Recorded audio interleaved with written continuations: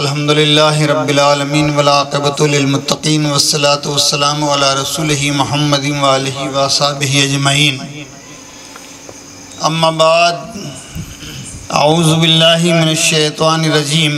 बाबू साहब सैयद हामिद अली साहब मैं मेरे रसूल पर बैठे मदीना मस्जिद निम्बाला के फारूक निज़ामी साहब किबला। सैयद रिजवान साहब किबला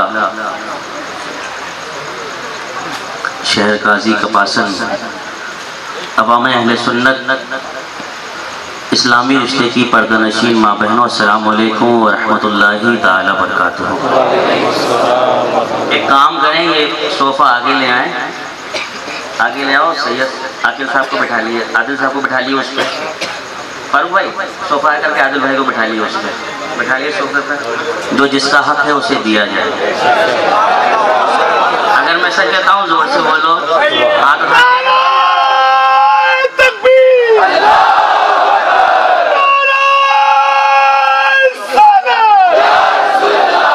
वीर का दामन वीर का दामन नारे रिसालत औलादे गौसे आज़म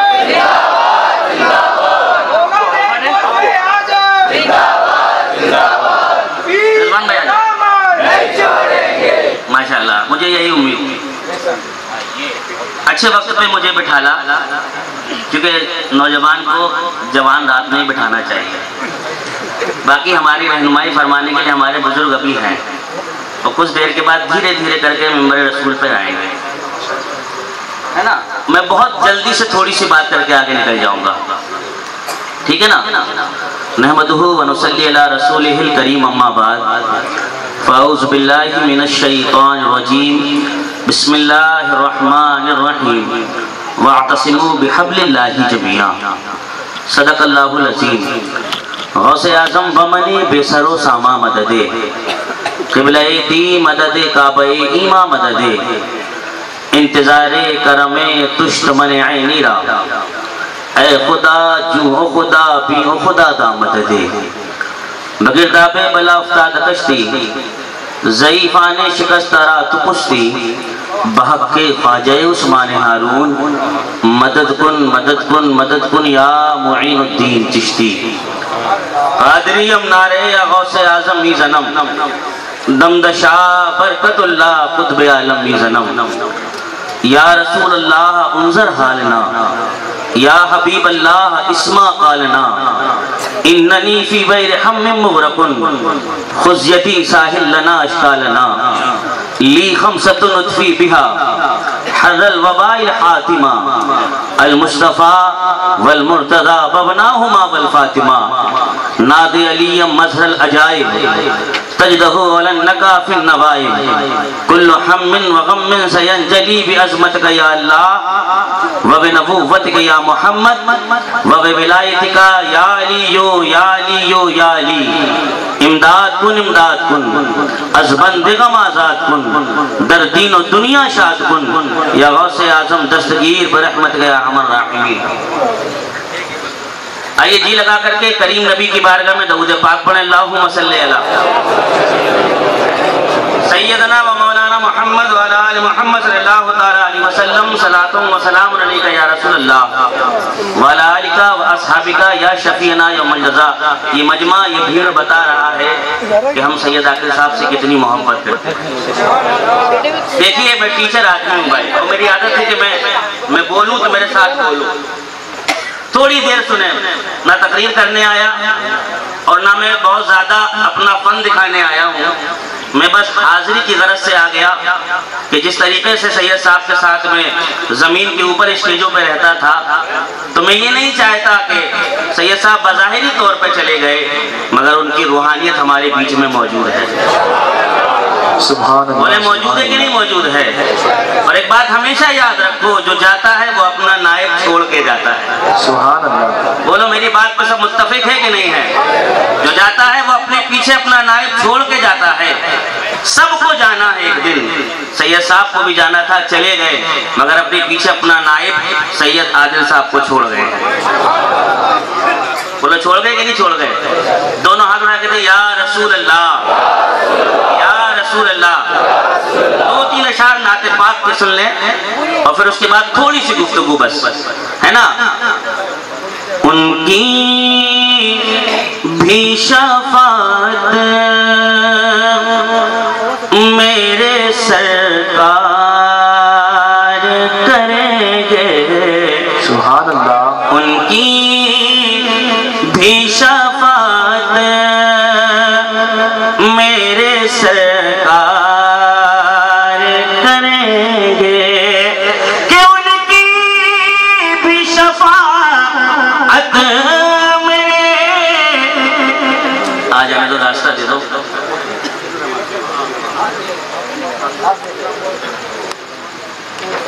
नारे तकबीर नारे रिसालत अल्लामा मौलाना हफीजुर रहमान साहब किबला जिंदाबाद नारे तकबीर अल्लाह अकबर मसलक आला हज़रत मसलक आला हज़रत चेहलुम सादात किराम नारे तकबीर नारे रिसालत राजा का हिंदुस्तान मसलक आला हज़रत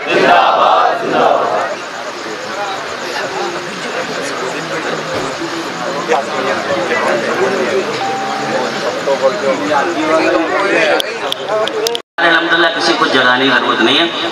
कि उनकी भी शफात मेरे सरकार करेंगे। उनकी भी शफात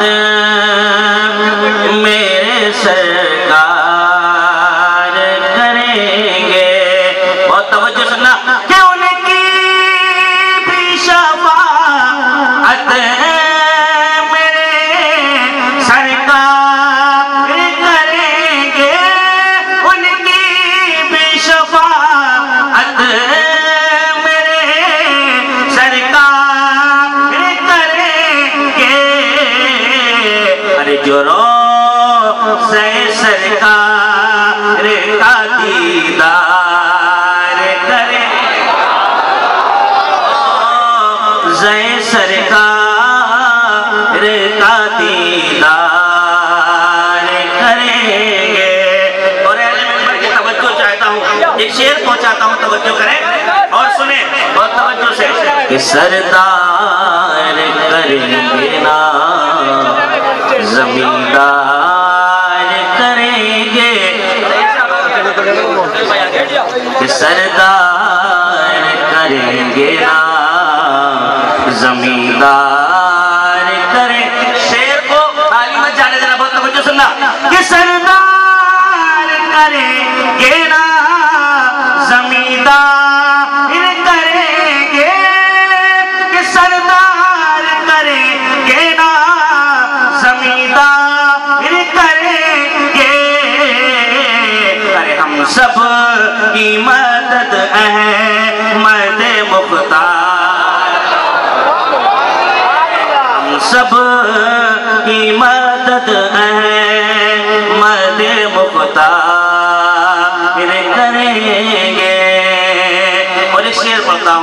कि रोको ना मुझे लहद में जल्दी से उतारो।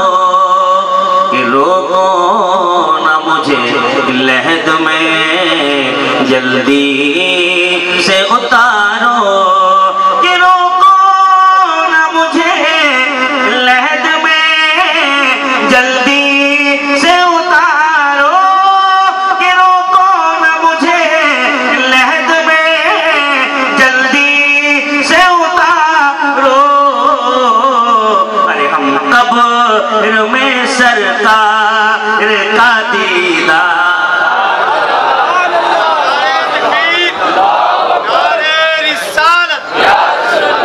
हम कब ज़ोर से बोले जिसको जिसको ये उम्मीद है कि सरकार की कब्र में हम जियारत करेंगे बोलो ज़ोर से। हम कब्र में सर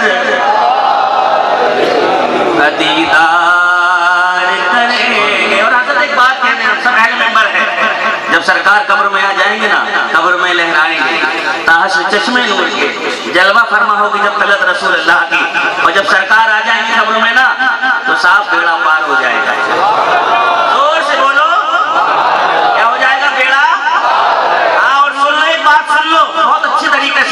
सारे लोग बैठे, सुन लो। हम सुन्नी है। कौन है से बोलो? हम सुन्नी है और मैदान मैशर में सरकार को ही सुननी है। हम सुन्नी है और हम सुन्नी ही की। सरकार को मैदान मैशर में सुननी है। किसी का काम नहीं चलेगा। मैदान मैशर में जो कुछ होगा, मुस्तफ़ा की रजा से होगा। हाँ। हम कब में सरकार का दीदार। हम में सरकार का दीदार। और जब हम दीदार कर लेंगे, ये तो सुबह अल्लाह साहब गए, उन्होंने अपने नाना का दीदार किया। और से बोलो, यार, हम और आप तो नबी का दीदार करेंगे। हम और आप नबी का दीदार करेंगे। आकिब साहब गए उन्होंने दो फ़ायदे थे। एक तो नाना भी थे तो दूसरे वो अपने नाना के, अपने नबी के उम्मती भी थे। और एक बात सुन लो, हमेशा से सुन लो। मैं बहुत डंके की चोट पर ये बात कहता हूँ। वो बुरी लगे तो एक रोटी ज़्यादा खाना घर पे जाए। बहुत सुन लो, अच्छे तरीके से। सारे पीर, सारी खानकाहें, एहतराम के लायक हैं। सर के ताज हैं मगर साहब सैयद सैयद होता है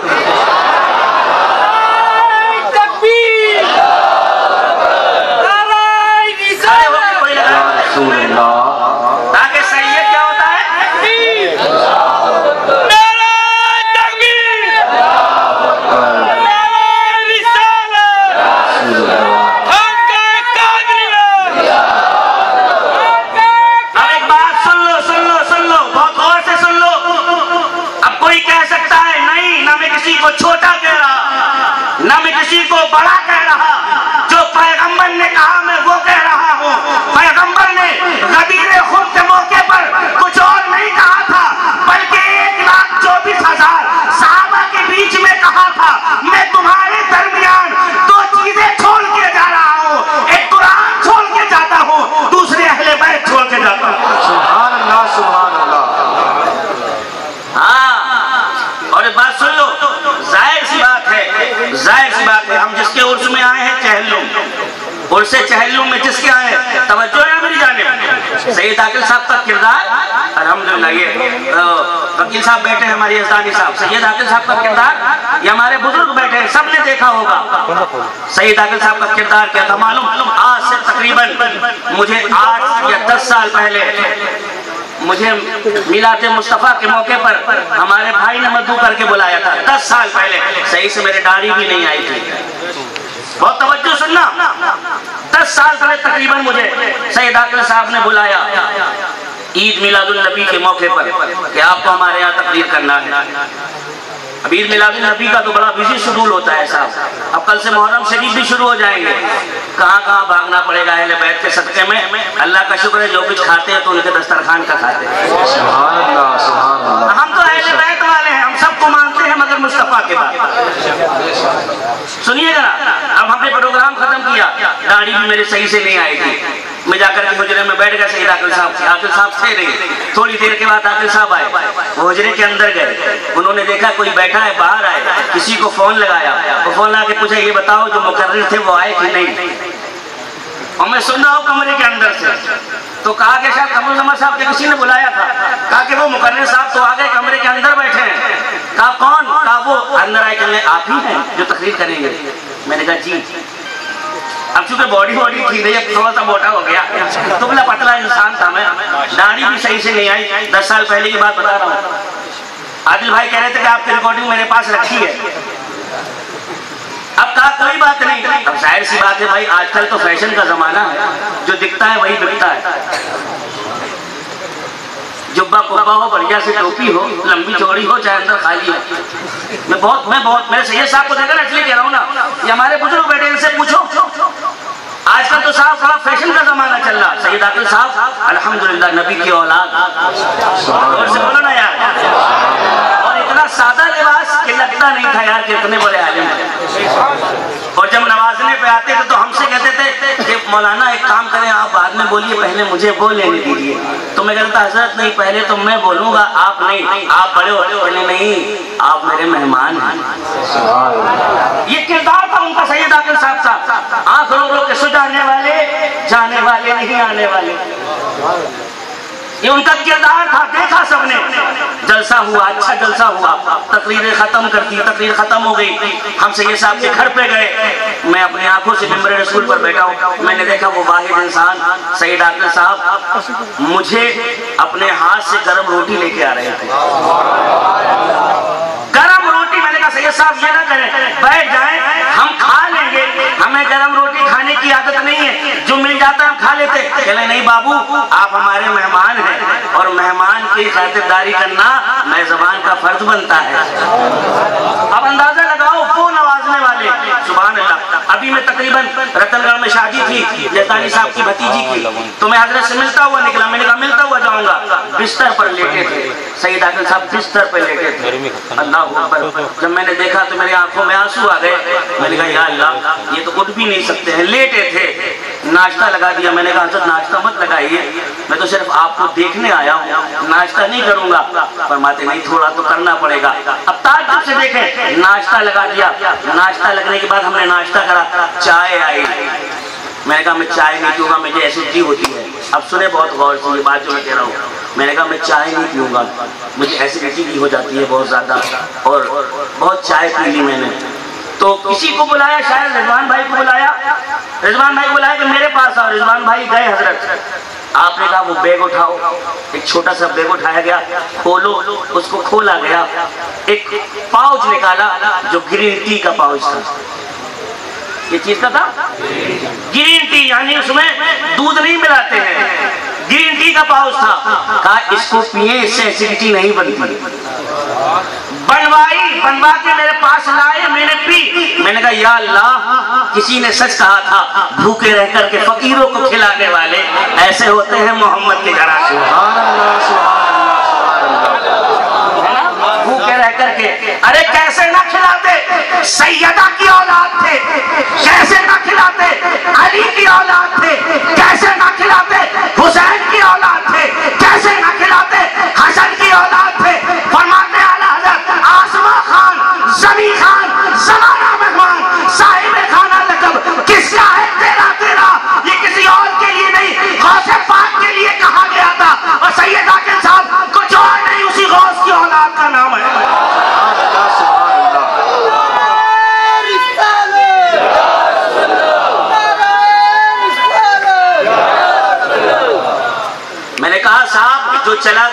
चला गया, जो है उसके बाजू को मज़बूत करो। क्योंकि साहब, क्योंकि मेरे मुस्तफ़ा ने कहा है कि एक तो अहले बैत छोड़ रहा हूँ, एक तो कुरान छोड़ रहा हूँ। अब सुने, आगे का फरमान मुस्तफ़ा, आका फरमाते हैं, दोनों को पकड़े रहोगे तो कामयाब हो जाओगे। ज़ोर से ज़ोर से, क्या हो जाओगे? क्या हो जाओगे? तो फरमाते हैं, दोनों में से किसी एक को भी छोड़ोगे तो गुमराह हो जाओगे और इन दोनों को मजबूती से पकड़े रहोगे तो कल ये दो चीज़ें तुम्हें मैदान मैशर में हौजे कौसर पर मुझसे मुलाकात करवाएँगे। अब अंदाज़ा लगाओ तुम्हें मुस्तफ़ा के सामने जाना है कि नहीं जाना। ज़ोर से बोलो, मैदान मैशर में मुस्तफ़ा का सामना करना कि नहीं करना? अरे मैदान मैशर तो मैदान मैशर, जब कब्र में जाओगे और कहीं कब्र में मुस्तफ़ा ने पूछ लिया मेरे लालों के साथ क्या करते थे तो जवाब नहीं दे पाओगे अरे उससे पहले दामन थाम लो और कहो मिलता है मुस्तफ़ा का दर आले रसूल के तुफे मैंने आयत करीमा पढ़ी वाकसिमु अल्लाह की रस्सी को मजबूती से थाम लो ये हमारे उलमा बैठे हैं। बहुत तवज्जो सुनना। सैयद आदिल साहब, शहर काजी चावल, है ना? एक नौजवान चेहरा। है कि नहीं? ज़ोर से बोलो यार। है कि नहीं है? अपना नायब सैयद साहब छोड़ के गए कि नहीं गए? बोला, हमें मज़बूत करना चाहिए कि नहीं? ज़ोर से बोलो। ऐसे नहीं, साहब का चहलुम में आए, लंगर खाया, चले गए। फिर बुलाया जाए, फिर साहब, हमने तो काम तो सिर्फ़ चहलुम तक था, बाकी का आदिल साहब जाने। बोलो, गलत तो नहीं कह रहे? सुनो, अहले बैत का दामन थामने से क्या मिलेगा? कुरान की आयत मैंने पढ़ी। कुरान में अल्लाह फरमाता है, वाक़सिमू बिहब्लिल्लाहि जमिया। तर्जुमा सुनो, अल्लाह की रस्सी को मजबूती से थाम। क्या थाम लो? अल्लाह की रस्सी को मजबूती से थाम लो।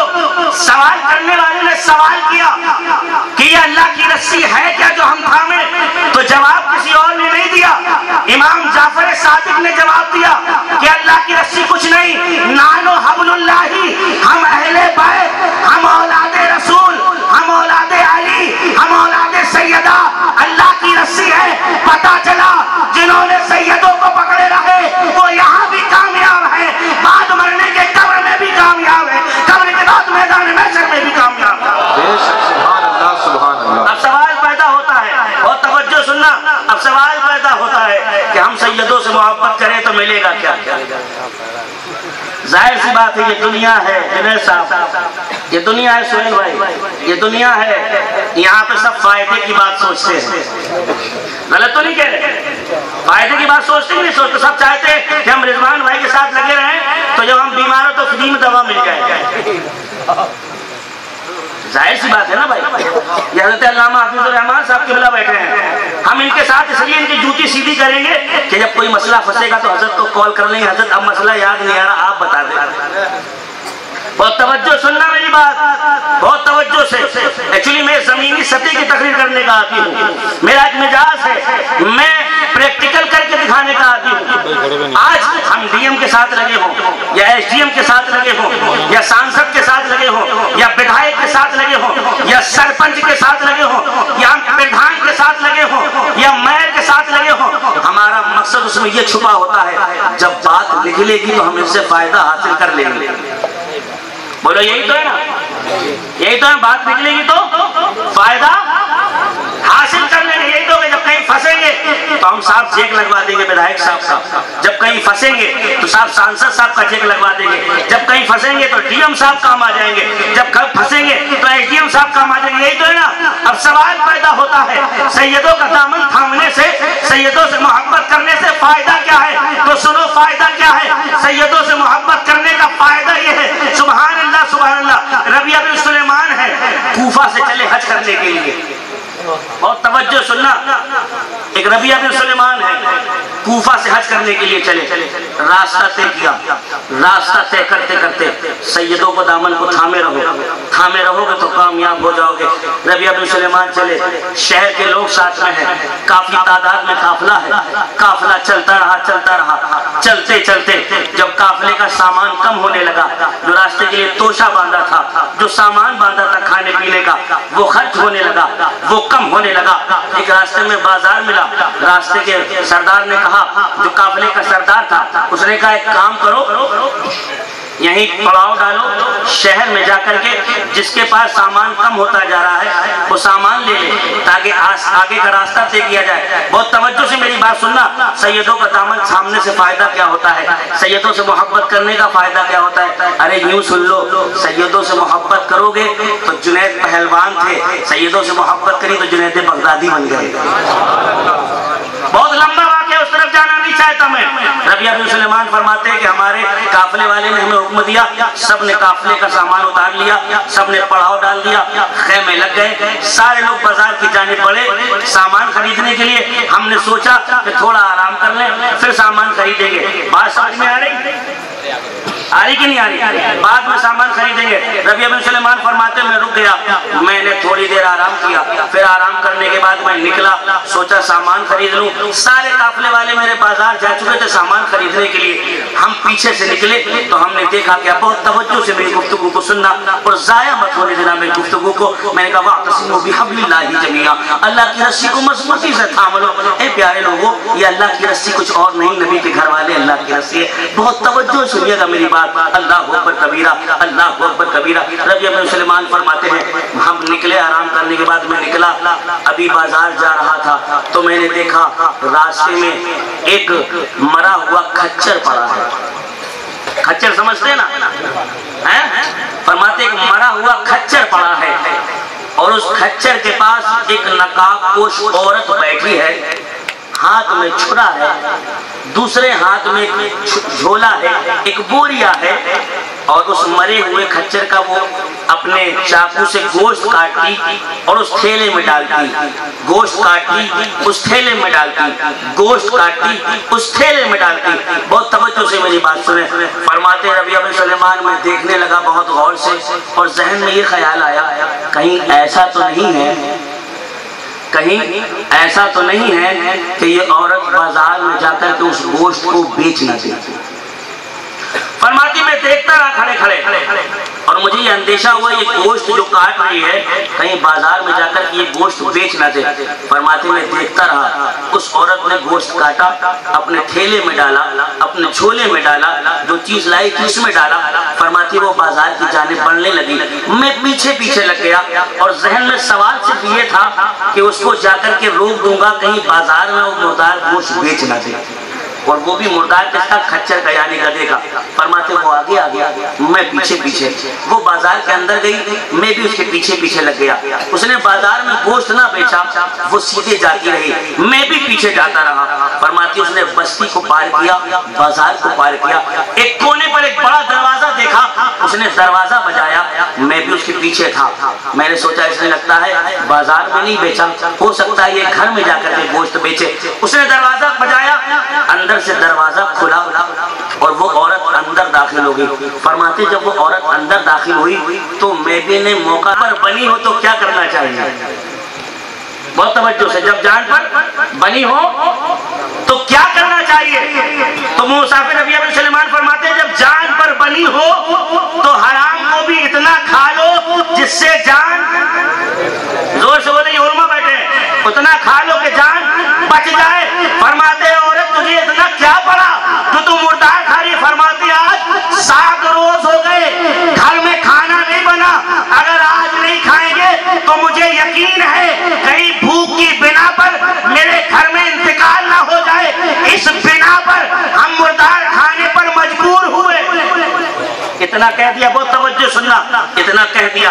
अब रबिया सुलेमान फरमाते हैं अच्छा आपको ये मसले तो मालूम है तो आपके शोहर नहीं है क्या? फरमाती है, मेरे शोहर का इंतकाल हो गया। घर में कुछ है नहीं क्या? फरमाते, घर में कुछ नहीं है, तभी तो ये किया। फरमाते, किसी से मांग लेती अब जुमले पर गौर कर, मेरी तब तवज्जो दे। किसी से मांग लेती उस औरत का जवाब सुनो। वो औरत कहती, सुनो रबिया बिन सुलेमान, हम अहले बैत हैं। हम है सैयदादी हम नबी की औलाद हैं। हमारी गैरत किसी के दरवाजे पे हाथ फैलाना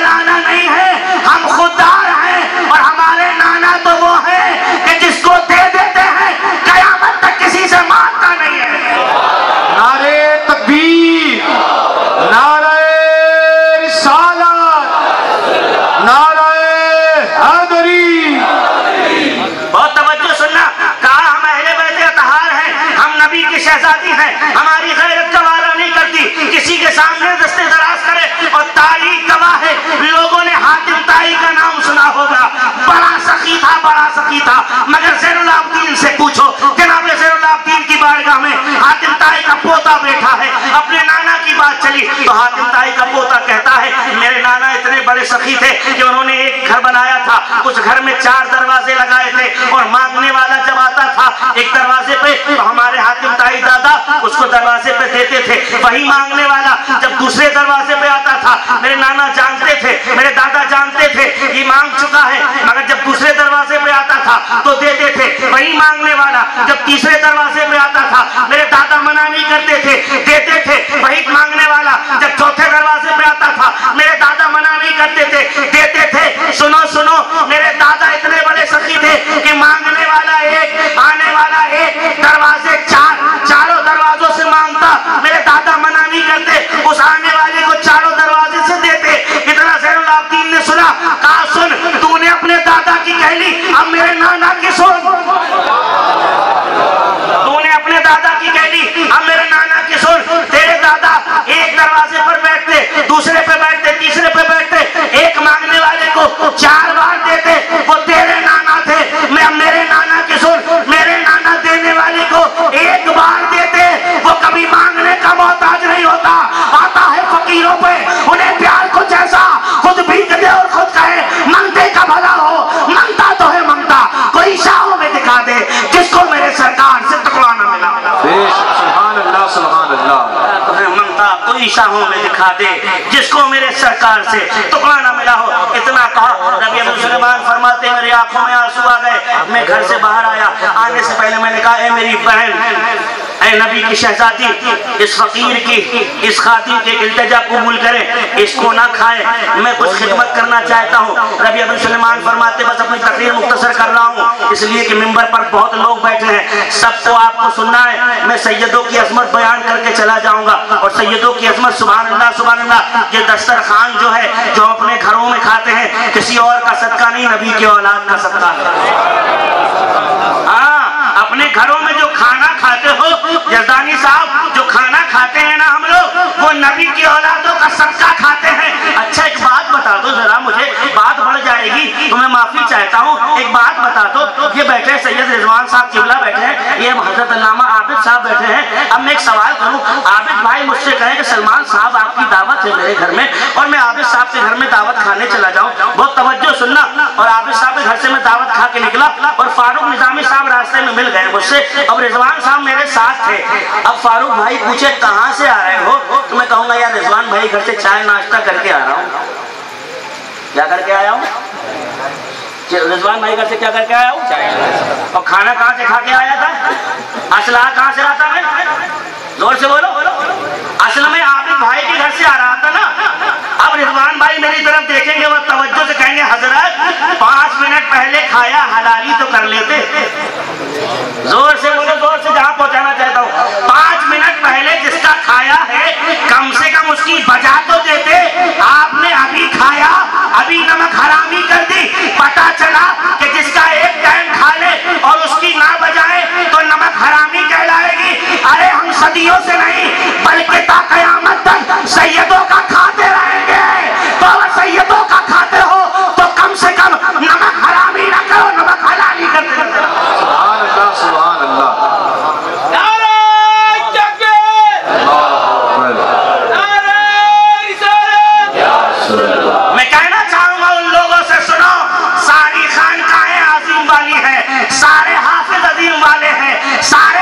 मर्तबों वाले हैं।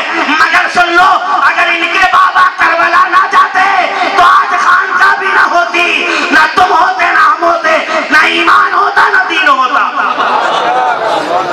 ये हुसैन का सदका है कि हुसैन करबला गए तो टोपियाँ सलामत। हुसैन करबला गए तो खानकाहें सलामत। हुसैन करबला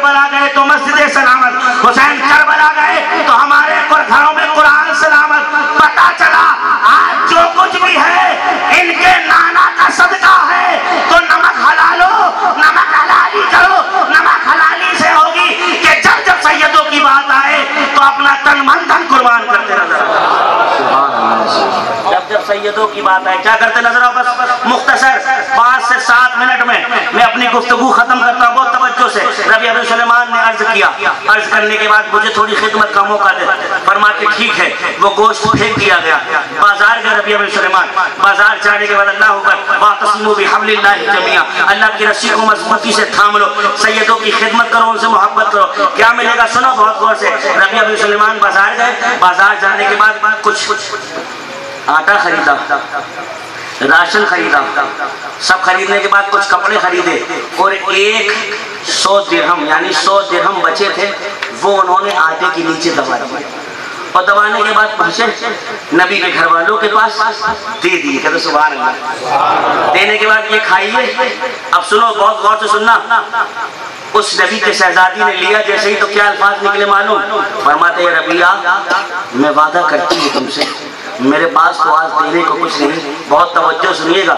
मेरे पास आज देने को कुछ नहीं मगर मैं वादा करती हूँ तुमसे कल मैदान महशर में बाबा से तुम्हारी शफात करवाऊँगा सुबहान अल्लाह सुबहान ज़ोर से बोलो ज़ोर से। अली नजी मसीहो सफी सभी से कहीं कहीं ना बनी ये बेखबरी के खल्क फिरी कहाँ से कहाँ लिए है। ना?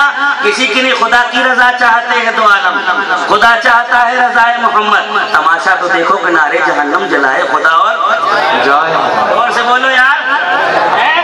बुझाए मोहम्मद, पता चला कि मैदान मैशर में रब की अता से सरकार की चलेगी। और सुन लो, घर वाले घर वाले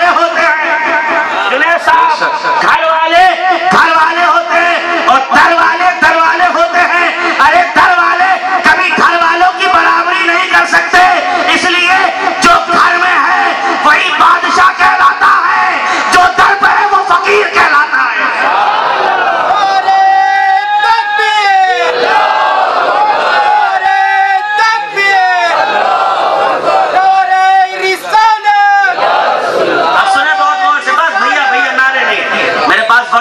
शायद ज़्यादा ले लिया। इसलिए मुझे सबका है। मैंने ज़्यादा ले लिया। सुने सैयद की अजमत गए रबी सुलेमान तोहफा पेश किया। माँ ने कहा मेरे पास कुछ नहीं है। बस वादा करती हूँ मैदान मैशर में नाना से तुम्हारी शफात करवाऊँगी। अब बताओ सबसे बड़ा सर्टिफिकेट मिल गया अब क्या चाहिए? अब एक बात बताओ बाप बेटी की सुनेगा कि मोहल्ले वालों की? बोलो ज़ोर से। ज़ोर से बोलो किसकी सुनेगा? बेटी की। बेटे की ज़ाहिर सी बात है और बाबी और वो एक बात है नाना को अपनी नवासी से बड़ी मोहब्बत होती है। तो घर वाले घर वालों बाहर वालों की ए जावत के लोगों भी वक्त है। अब एक पैगाम दे रहा हूँ और लेकर के जाओ।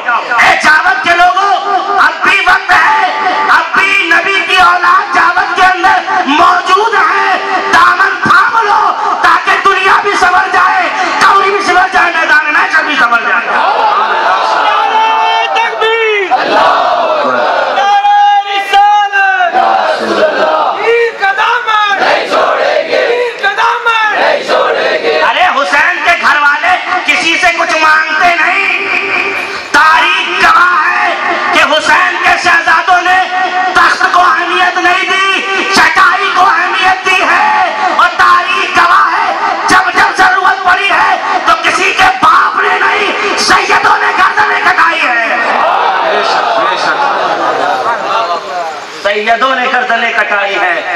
सैयदों ने गर्दनें कटाई हैं और सच्चे और से चाइल्ड रूम में आने का सिर्फ़ मकसद ये था मेरा। मैं चाहता मैं नहीं आता। बहुत दूर घर यहाँ से 800 किलोमीटर। सैयद साहब तक ताल्लुक थे, नहीं आता। मगर नहीं साहब, मैं इसलिए आया कि ताकि ये एहसास हो जाए कि सैयद साहब, आप घबराए नहीं आदिल भाई। हम जिस तरीके से सैयद आकिल साहब के शाना बशाना थे, आपके भी साथ खड़े हैं।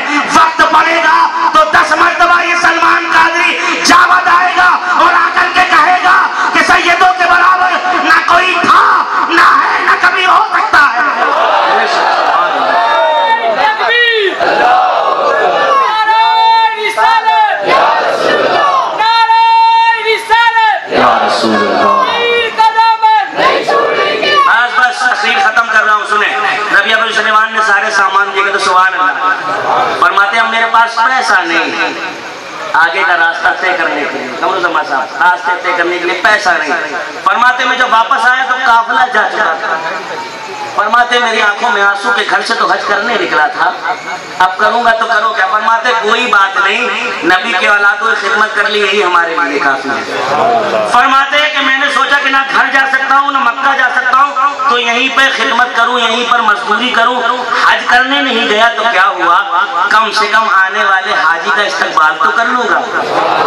बात समझ में? बस खत्म। फरमाते मैं वही मजदूरी करने लगा हज हो गया। तो सुबह फरमाते हज हो गया अब मेरे गाँव उसी शहर में हज करके वापस आ रहे तो मैंने सोचा, इस्तकबाल कर लिया जाए। तो जैसे हम इस्तकबाल नहीं करते हाजिर का क्या करते, हाथ डालते, हाथ चूमते, माथा चूमते, बहुत तवज्जो सारे लोग सुने। फरमाते, मैं हज करने नहीं गया। फरमाते, जैसे ही मुझे मेरे गाँव के लोग हाजी दिखे, मैं दौड़ करके आगे बढ़ा। मैंने कहा वालेकुम। मैंने मुसाफा किया, उन्होंने मुसाफा किया, मैंने हाथ चूमा, उन्होंने हाथ चूमा। मैंने कहा, भाई, अल्लाह तुम्हारे हज को कबूल करे। किसने कहा? रबी अबी सुलेमान ने। कहा गए थे? हज करने नहीं गए थे ना? किसका इस्तेमाल करा हाजी का? कि अल्लाह तुम्हारा हज ज़ोर से बोलो क्या करे? परमाते मैंने कहा अल्लाह तुम्हारा हज कबूल करे। तो जिससे मैंने मुसाफा करा हाजी साहब से वो कहते रबिया अल्लाह तेरा भी हज कबूल करे। सुहा अल्लाह ज़ोर से सुभान अल्लाह अल्लाह तेरा भी हज कबूल करे फरमाते मैं परेशान मैं तो गया नहीं मुबारकबाद कैसी फरमाते, आगे बढ़ा, मैंने दूसरे से कहा, अल्लाह तेरा हज कबूल करे। उसने कहा, रबिया मुबारक हो, तेरा भी हज कबूल करे। फरमाते, मेरा दिमाग चकराने लगा, मैं तो गया नहीं। ये हज कैसे हो गया? फरमाते, मुझे मेरे गाँव के बूढ़े बाबा दिखे, जो एतमाद के लायक थे, जो परहेजगार, मुत्तकी थे। मैं आगे बढ़ा, मैंने हाथ चूमे, कहा, मैंने हज़रत अल्लाह कबूल करे सफ़ा मरवा को कबूल करे सही को कबूल करे और शैतान को कंकड़ी मारने को कबूल करे और तवाफ करने को कबूल करे। फरमाते उन बूढ़ों ने कहा रबिया अल्लाह तेरा भी हज कबूल करे तेरा भी सफ़ा मरना कबूल करे तेरे भी कंकड़ी मारना कबूल करे और फरमाते रबिया सुन। बहुत तवज्जो से। रबिया सुन बाबे जिब्रील पे हम तुम मिले थे। ज़ोर से। सुभान अल्लाह। सोने के सिक्के की थैली थी, भीड़ ज़्यादा थी। तुम जाने लगे, तुम्हारे हाथ से छूटने लगी, तुमने मुझे पकड़ा दी थी। बड़ी मुद्दतों से पकड़ो, भैया, अपनी थैली वापस ले लो।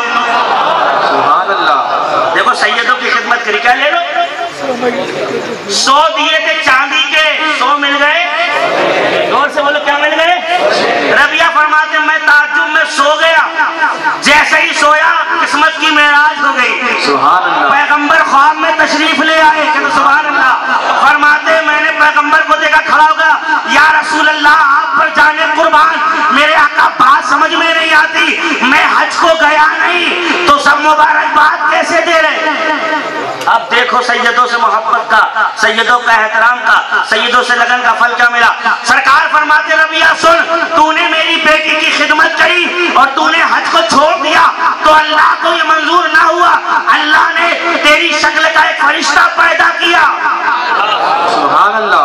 क्या करा? से बोलो फरिश्ता, तेरी शक्ल का फरिश्ता पैदा किया और जिसे हुक्म दिया कि कयामत तक रबिया के नाम का हज करते रहना, पता चला, सैयदों की खिदमत करोगे, अल्लाह एक हज नहीं, हज़ारों हज तुम्हारे हिस्से में लिख देगा।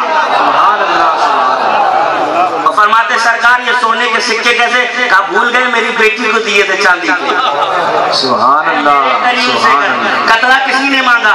दरिया बहा दिए हैं दुर्बे बहा दिए हैं जब आ गई है जोश रहमत पे उनकी आँखें जलते बुझा दिए हैं रोते हंसा दिए हैं। एक दिल हमारा क्या है? आजार उसका कितना? तुमने तो चलते फिरते। सुभान अल्लाह सुभान अल्लाह वातसिमू बिहब्लिल्लाहि जमीआ अल्लाह की रस्सी को मजबूती से थाम लो जब थामे रहोगे तो कामयाब हो जाओगे। आज सैयद आकर साहब के साथ खड़े थे। वादा करो हाथ उठा के कि हम आदिल साहब के साथ भी खड़े हैं। सुभान अल्लाह हम आदिल साहब के साथ भी खड़े हैं। और ये वादा तुमने जो किया है, ये उलमा बैठे हैं, कोई और नहीं देख रहा, मदीने वाले गुंबद से देख रहे हैं। दूर नज़दीक के सुनने वाले वो कान, काने लाले करामत पे लाखों सलाम। अल्लाह हम सबको अपने बुज़ुर्गों से मोहब्बत की तौफीक अता फरमाए। यार ज़िंदा, सोहबत बाकी। अस्सलाम वालेकुम व रहमतुल्लाहि तआला बरकातहू उसकी मगफरत फरमा, कब्र के अंदर नूर अता फरमा और सब घर वालों को सब्र सब्र सब्र सब्र सब्र और सुकून अता फरमा।